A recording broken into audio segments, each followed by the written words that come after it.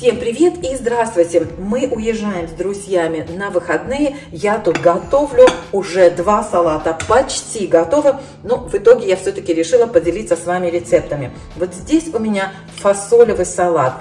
Баночка фасоли. Вот такая, видите, стандартная маленькая баночка кукурузы. Здесь 150 грамм всего.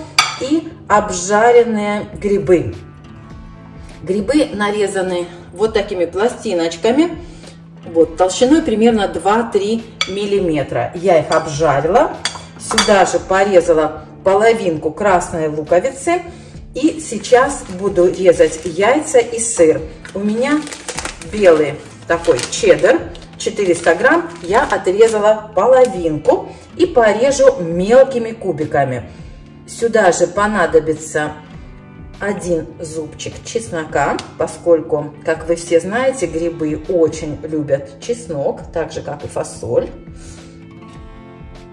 Вот, ну, перебарщивать не буду, поэтому всего лишь один зубчик. Как всегда, рецепт вам оставлю под видео. Не забудьте посмотреть.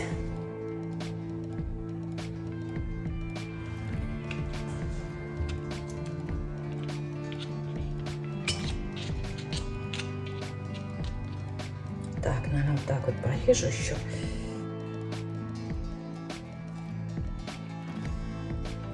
И вот такими мелкими кубиками.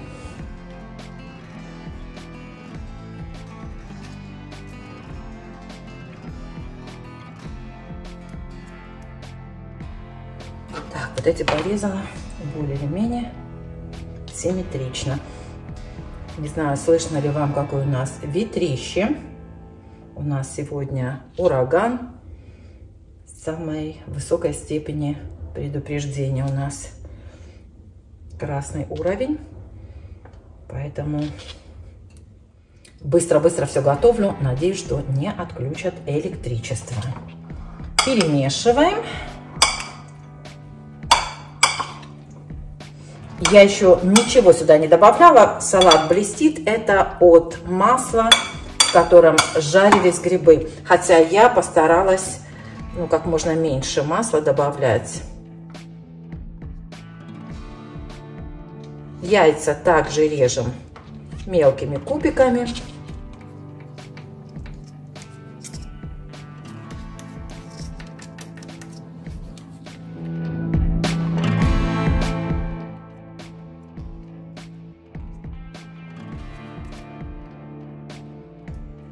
Мне кажется, что вторую половинку луковицы тоже придется порезать. Ну, посмотрим. Выдавливаем сюда зубчик чеснока.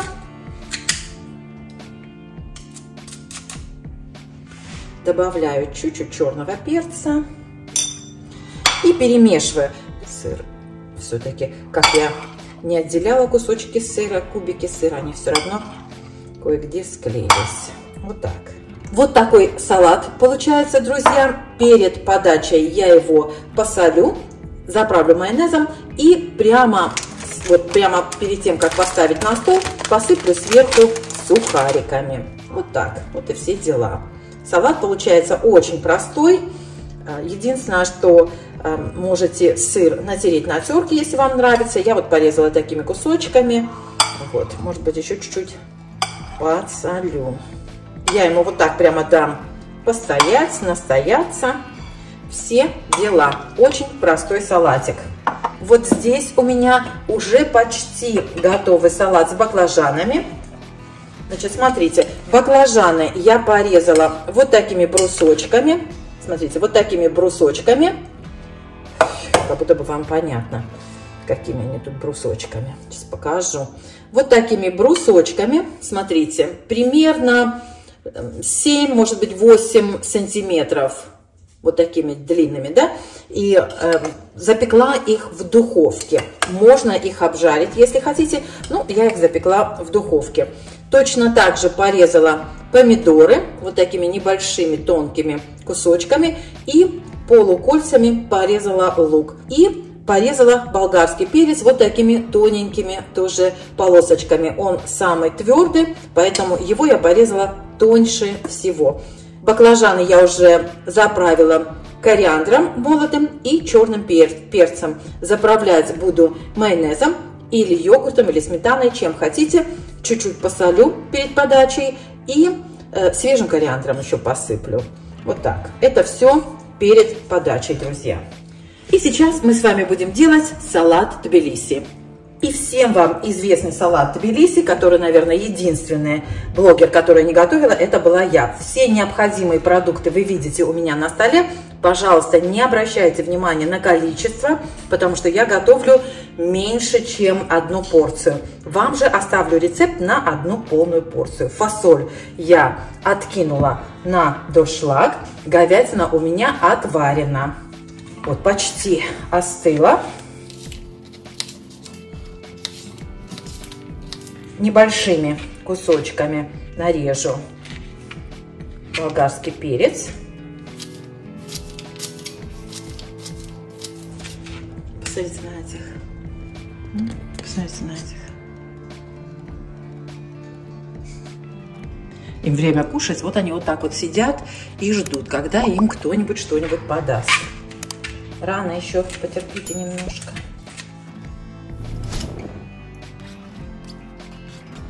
Луковицу режу полукольцами.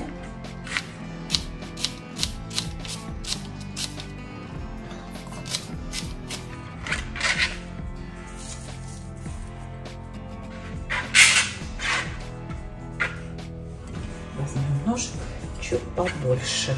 Мясо порежу тоже такими, знаете, тоненькими пластиночками, тоненькой соломкой. Эти кусочки можно, смотрите, прям разобрать. Мясо так отварено.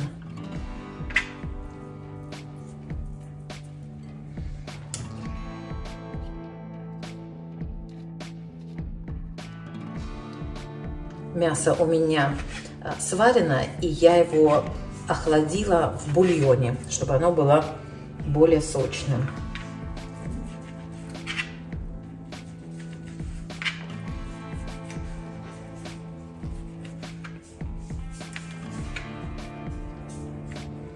Так.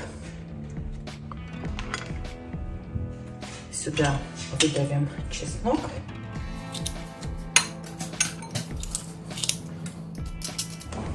Мясо у меня вот чуть-чуть еще теплое, поэтому я его отставила в сторонку. Орехов мало. Орехи порежу прям очень мелко. Таким ножом прям мелко-мелко порежу. Можно в блендере измельчить их. Кстати, можно в блендере измельчить. Так, облегчаем себе работу.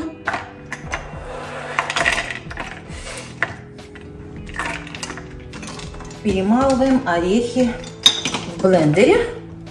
Кстати, чуть побольше перемолю, потому что баклажаны тоже очень любят орешки. Можно туда добавить.